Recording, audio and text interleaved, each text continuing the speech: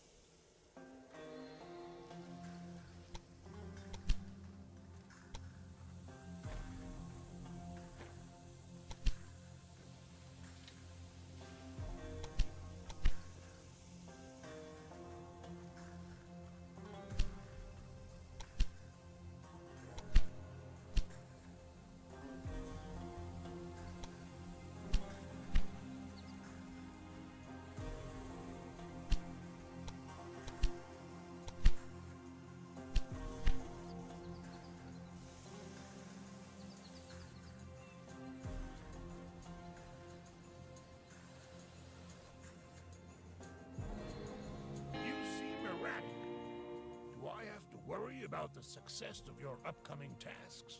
Hmm. I would have done things differently, but I can't argue with your success. For now, keep up the good work. Our network in East Texas still needs improvement. If you do it correctly, you can make a lot of money expanding it here. Aside from the initial funds, I have no intention of subsidizing.